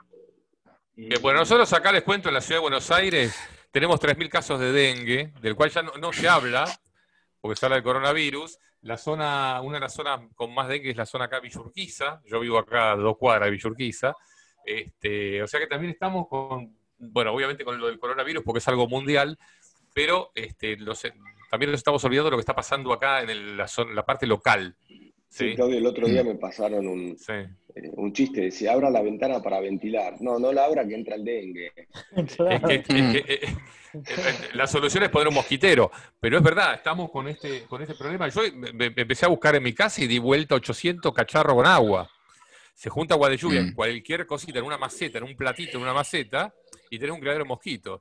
Y de eso, el tema del dengue. Obviamente no se habla, sí. Sin ninguna duda es un tema importante, pero a nivel global, digamos, es un tema muy local de Buenos Aires, muy local de algunos, de algunos mm. puntos. En cada lugar tienen su propio eh, su propio problema que están tratando. El tema este del coronavirus, eh, no sé si alguien sigue la página de la Universidad de Hopkins, pero eh, hace un mes y medio he mostrado un par de circulitos sobre, sobre China y ahora está pintado todo el mundo. Está pintado rojo todo el mundo. Y honestamente, hasta, hasta me da miedo decirlo, pero mi miedo real es que haya una mutación y que se ponga más jodido. Claro. Sí, sí. Por ahora, bueno, está bien, 3% de mortalidad es muchísimo, pero eh, si, si, si, hay una mutación y se pone más jodido, eh, puede, ser, eh, puede ser jodido en serio. Tienes razón, creo que tienes razón, pero mm. creo que le puede también pasar el virus de la influenza, creo que le puede pasar también al virus de la gripe, ¿no? O sea, están, todos los virus van, de hecho mutan, de hecho de vuelta, soy ingeniero, no médico, pero entiendo de que toman una cepa en el norte, o sea, la, la, la inyección para la influenza y para cambia con los virus que, que, que, vienen en el norte de Europa, Estados Unidos, supongo, entonces arman una inyección y la mandan para abajo y hay intercambios. Entiendo que hay pequeñas mutaciones. La verdad que sí. me causa pánico pensarlo. La verdad que si me pongo a pensar en eso, salto de la ventana. Pero todos los años, todos los años hay gripe y si pensamos, nosotros tuvimos gripe el año pasado y este año volvemos a tener y el que viene, es decir, aún la gripe tiene mutación todos los años. Porque cada año nos volvemos a infectar de gripe, mm. ¿no? O la mayoría. Lo que pasa es que quizás en este caso hay un problema con el virus, yo creo. También, yo no soy biólogo, no, tampoco soy economista, hablo muchas veces por, por oído, pero creo que el problema que tiene es, en este caso con el COVID-19, que afecta eh, los pulmones y genera un problema muy grave en los pulmones que puede desembocar en la muerte. Esa es la diferencia. Mientras que hay otros virus que te pueden afectar las vías respiratorias superiores, la garganta, anginas. Este en particular ataca quizá más los pulmones y eso es quizá el gran problema. Y donde viene el tema de los... Personalmente yo lo veo, es el mismo virus. Es el mismo virus que tenemos el de ¿cómo es que se llama? El de, el de la gripe, el de la influenza. La verdad que nunca se van, vuelven todos los años porque están ahí. El tema es que están contenidos con una vacuna. Ponele, mm. este, este tiene el 100% de la población para, para, para atacar. En cambio, si tenés una vacuna, se restringe y no se desparrama tan rápido. El tema es que al no tener la única protección que tenés para con esto, es quedarte en tu casa. Claro. yo acá estoy mostrando, mientras charlamos, estoy mostrando un poquito cómo está la, la situación de, nuevos casos cada día, ¿sí? Esto, esto es España, por ejemplo, ¿sí? Así estamos en España. el tema, volviendo al tema de la vacuna, yo sé que acá en España, por ejemplo, todos los años, cuando viene ya el, otoño, empieza una campaña de vacunación para las personas mayores, aquellos que pasan, creo que son los 66, 68 años, se lo considera personal de riesgo y hay una vacunación.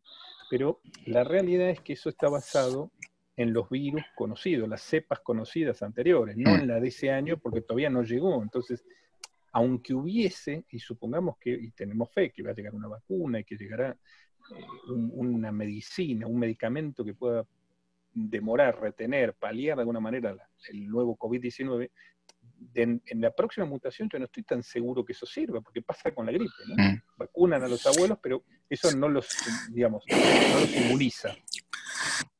Eh, lo que pasa es que igual están hablando que una vacuna recién va a estar en condiciones de ser eh, entregada masivamente en el periodo de un año, un año y medio. Entonces, este, el tema es qué hacemos mientras tanto. Y, yo un poco lo que estaba pensando es que lo que pasa con este tipo de virus, que en realidad son de transmisión animal, ¿no? Porque este caso en particular, este, entre el pangolín y el, y el, este, y el murciélago. ¿Por qué, no habrá, ¿Por qué no herviste bien el murciélago? ¿Qué te costaba? ¿Por qué no herviste? 10 minutos más. Pero, ¿sabes qué es lo que yo estaba pensando? Que cuando esto, esto ha pasado a lo largo de la historia de la humanidad, cuando comían cosas raras. Lo que pasa es que hace miles de años, que, que capaz que en India eh, pasaba una cosa de estos, todavía no existía la globalización, en una aldea se empezaba a infectar gente, toda la gente de la aldea, se moría y, la cosa quedaba ahí y el virus se moría y desaparecía. Hoy día la globalización nos produce este efecto donde de repente todo no hay prácticamente continente, salvo si sacamos la Antártida de la Estación Espacial Internacional, no hay lugar en la Tierra donde no haya coronavirus, ¿no? Y eso es uno de los, de los precios que pagamos eh, por el hecho de que en 12 horas puedas estar de un extremo del, planeta en el otro, ¿no? Que era una cosa que hace este, mucho tiempo no, no, era un peligro que existía, o como el caso de la peste negra, que tardó años de años en llegar a un lugar al otro. Che, qué buen argumento. Desaparece la especie humana y solo queda en la estación espacial cuatro rusos. Y mucho no va a durar tampoco porque la estación espacial depende exclusivamente de, los suministros de la Tierra. Así que este, es un buen tema tienen para seguir. Un argumento por la película. En la Tierra no contesta más nadie y se quedaron diciendo, ¿y qué hacemos acá arriba? Bueno, ahora vos sabés que hay un problema con eso, que creo que el, el 3 o el 4 de abril estaba supuesta una misión que iba a partir desde Rusia con tres astronautas, este, creo dos rusos y un norteamericano. Y ahora están con el tema de que los tienen en cuarentena hace rato y, tienen miedo porque de llevar justamente los virus a la Estación Espacial Internacional. Así que están estableciendo protocolos, cómo pueden hacer para asegurarse de que no van a contaminar a los astronautas que están allá arriba, ¿no? O sea que es un, es un, es un tema. En tanto y en cuanto no haya intercambio de gente, no pasa nada y están seguros, pero eso, digamos, va a terminar en, pocos días más. Así que están todos preocupados con eso en películas anteriores como Alien, el riesgo era que venga un virus del exterior a la Tierra y es al revés, ahora es al revés. es al revés. lo estamos mandando nosotros. Sí, sí, sí, así es. Decir un tema, eh, ¿qué haces? Me escuchan, ¿no? Sí, sí, sí. Eh, yo que tengo chicos chiquititos, vamos a suponer que el virus entró a tu casa.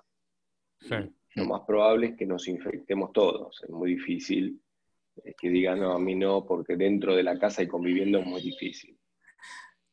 Se tienen que internar los adultos. Claro, que es con los chicos. Nosotros vos sabés que lo pensamos acá en Estados Unidos porque, porque es algo acá... Eh, eh, perdóname. no se lo puede mandar a los abuelos. Claro, exactamente, exactamente. Sí, sí, sí, sí. Y aparte, o sea, que, que, nosotros lo pensamos acá, que somos nada más mi señora, yo y mi hija, decíamos, bueno, si a los dos nos tienen que internar, ¿qué hacemos con la nena? ¿no? Es un problema no, no, tenés que hacer. ¿Y, alguno, tiene la solución? Hay que conseguir una no, que, limpiar, Mira, eh, como, como, vos decías. Yo te voy a comentar, perdón, no, te, decía que si estás un problema este, grabado. Dale, dale, Daniel, dale. No, nada, nada, que iba a comentar que un problema grabado que fue que acá en España lo primero que hicieron fue cerrar los institutos de educación, las escuelas, las universidades hace 15 días antes de decretar la cuarentena. Entonces, acá en España, con mucha tradición familiar, todos esos niños iban a la casa y a que no saben quién cuidaba a esos niños, porque los padres están trabajando, ¿quién cuidaba a los niños? Claro, eso fue una medida que en algún momento, digamos, alguien se lo va a reprochar al gobierno diciendo, mire, señores, cuando ustedes cerraron toda la parte educativa, no se les ocurrió pensar que están mandando a los niños a la casa, que muchos de esos niños eran cuidados por abuelos y que los abuelos son, o la gente mayor, eran los principales afectados por esto. Mm. Bueno, acá Daniel hicieron al revés. Se detectó la, cuarentena y dijeron los colegios, mientras tanto, que sigan por eso. Eh, y el problema es que el, colegio es donde, no sé, yo la otra vez, mi, hija chiquitita está en jardín dos años, cuando se van todos, todos los nenes le dan un beso al mismo muñeco. Ya está. Bueno, la jirafita la ponían así, bueno, un besito y todo, y digo, esto es, es una locura. es una locura. Todo, todo que no está Ponique en esta conversación. Bueno, yo les, agradezco mucho a todos esta conexión. No sé si alguien tiene algo más para decir. Estamos ya hace como casi una hora cuarenta. Eh, gracias, son casi este, más de 90 personas simultáneas. Tuvimos gente que fue entrando, saliendo. Eh, gracias a todos los que están este, conectados a través de, este, de YouTube, estamos en vivo. Eh, gracias Gabriela, Federico, Alberto, todos los que están ahí este, comentando. El chat es enorme. a mi suegra, Un saludo a. ¿Cómo se llama tu suegra? Esther. Esther, un saludo, Esther también. Este, ¿Esther Cosa es? No. Ah, ahí está, mirá, ahí pasó Esther también. Bueno, un saludo para Esther. Gracias, este, gracias por, estar ahí, a, a, ustedes por el tiempo. Este, Entiendo que tienen cosas que hacer, seguramente. Y tengo que dar vueltas, dar vueltas por las habitaciones de casa. Yo me había tomado el día y me quedé en casa. bueno. lo, peor es ir hasta el baño, a la cocina, cambiarte, darte una ducha y volver acá y sentarte. No, no, yo lo único que les quede, no sé, les sugiero que hagamos el ejercicio mental porque esto es un ejercicio, que hasta que no lo vivamos no podemos saber qué es lo que pasa luego. Es decir, en unos mm. cuantos meses, tres, seis meses, nueve meses, estamos erradicando el tema sanitario. Bien. Luego, en tres, cuatro meses tenemos el problema económico. Y luego el problema político, social que viene después. Claro. ¿nos puede mostrar a cada uno, como está haciendo Hernán, qué se ve por la ventana de su casa? Si pueden, los que están ahí a mano, los, si tienen algo a mano, como mostrar qué, qué, hay, qué está pasando afuera yo cambié los nombres. es una calle bastante transitada. Normalmente pasan autos todo el tiempo, bueno, alguno por ahí te puede dar.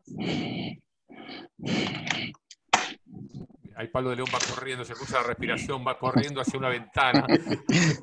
a, ver si se ve algo. ¿Se ve algo ahí? A ver. ¿Se ve ahí? ¿no? Sí, sí, sí, Selva es nada, es como todo verde y este y árboles y, y, no mucho más. Así que todavía, todavía hay sol por acá. Bien, mira qué lindo. Bien, ahí tenemos Madrid de noche. ¿Qué hora es? Ya son como las 12 de la noche, ¿no? Por ahí casi las 12 de la noche. Y son diez y media y bueno, ah, no, es una ciudad. Más temprano, más temprano. Yo pensé que estábamos. ya, ya, perdí la noción del tiempo de estar acá. ¿Se ve ahí? Viendo. Sí, sí. Montreal. Ajá. ¿Y circulan autos por ahí o está ahí? ¿Se puede circular todavía en Montreal o todavía no? Sí, sí, sí, sí, sí, sí, La gente no anda mucho. Bueno, allá en la otra cuadra está circulando un auto. Ajá. Este, hace, hoy hace menos, menos 3 grados. Así que nada, el martes pasado nevó un montón. En Winnipeg no sé cómo, pero debe estar más o menos igual, porque encima está más al norte. Menos dos. Que... que te vas a engripar. No, no pasa nada. Yo no, tengo problema con eso. En Sí, sí, ya estás acostumbrado. Aparte el frío, la diferencia que, por ejemplo, con, con Argentina, es que el frío acá no es húmedo, entonces no, no se siente tanto. Se siente si corre mucho viento, pero si no, la verdad que no se siente. Bien, bueno, yo quiero agradecer a Gastón Martín Ferreiros, que mandó 100 pesos a través del super chat. Quiero que en, YouTube, si tocas abajo en el signito pesos, podés mandar este, este plato, como hace Osorio, cada emisión de dominio digital desde Alemania. Así que gracias, este, Gastón Martín Ferreiros. Tenemos 100 pesos para, podemos dividir entre los 7. No sé cuánto nos tocamos cada uno. un, un abrazo para Gastón. Muchas gracias, Gastón. Gracias, Gastón. Con eso te compras el, el, hilito, el hilito de la máscara. Pará, pará, ¿cuánto está, ¿saben cuánto está un barbijo en cada, en cada ciudad? ¿Este, el N95, el de 3M, tienen idea o no hay precio? no hay, no hay, precio. no hay precio. Es, ese yo no, ese específico yo no sé, pero los barbijos convencionales están un dólar cada uno, o 75 centavos de dólar cada uno, una cosa así. Yo averigüé por Amazon unos barbijos que son eh, negros así, tipo como el que tiene Dani, pero digamos, negro así, pero sin tanta sofisticación. Y vienen este, 3 por 3 o 4 era, venía el paquete por 20 dólares canadienses, que serán más o menos 15 eh, dólares, 13 dólares americanos. Esto, el, este que yo tengo acá, que yo compré 10, previendo para la familia, previendo que no sabíamos qué iba a pasar. Esto, eh, en enero, los primeros días de enero, cuando esto todavía era algo muy, muy lejano, estos eran barbijos de 10 euros cada uno, traídos desde Alemania, ¿no? con el costo de envío. 15 días, 20 días, 25 días después, eso llegó a costar 40 euros cada barbijo. estamos como acá. Y en algún punto, en algún punto de esos 3, 4 semanas, no existía más. Es decir, estaba agotado en Italia, en UK, Alemania, Francia, Italia y España. No había manera de comprarlos. Eh, porque son efectivamente, digamos, los, los que protegen, bueno, se llaman antivíricos. De hecho, los usan los médicos para que tratan neumonías, que tratan problemas respiratorios. Bueno. Bien, bueno, Pablo, debo mostrarnos tu solución para todo esto, el, de vuelta, para los que recién se conectan.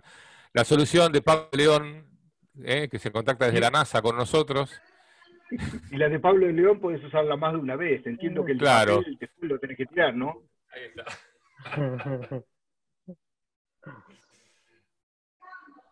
Así que ya eh, esa yo creo que es la mejor, la mejor solución. Este, y recordemos otra frase importante que decía, la casa está en orden, felices Pascuas, ¿eh? no se olviden de eso. Esto es su quilombo. y nosotros, ustedes tienen un solo problema ya en países del primer mundo. Nosotros tenemos acá la recesión con la que veníamos, el, el dengue, el, el, el FMI y el coronavirus. ahora, lo bueno es que ya dejamos de hablar de todo lo que veníamos hablando para hablar solamente de esto. Porque dentro de todo. Eh, el que más contesto está fue el que revolvió el cordero eh, hace un par de meses. Sí. Los rugbyers están agradecidos. Los rugbyers, nadie más habla de los rugbyers. tremendo, tremendo.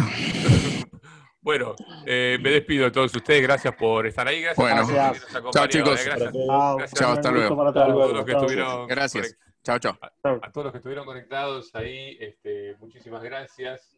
Este, bueno, la, idea de este y todos los programas que venimos haciendo todos los días no es dominio digital, es la posibilidad que tenemos de reunirnos con ustedes, de, de charlar un rato, de, acompañarlos. Básicamente la idea este de, estos programas que surgen así, cuando surgen y aparecen, es, este, es acompañarlos. ¿sí? Hasta todos los que este, tienen tantas opciones hoy día de contenido para elegir, millones y millones de horas de películas y cosas, para nosotros es realmente muy agradecidos de, que nos acompañen en, esta, en esto que tratamos de hacerlo para, bueno, sentirnos un poco todos más cerca.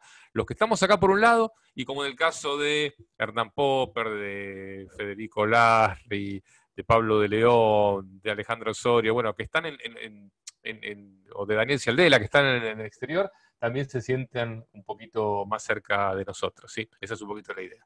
Bueno, último agradecimiento para Yanshi, ¿eh? Que acaba de mandar dos libras. ¿eh? Este es un programa a la, gorra, ¿sí?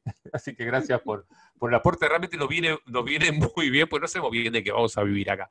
Así que este, gracias Matías Benítez también.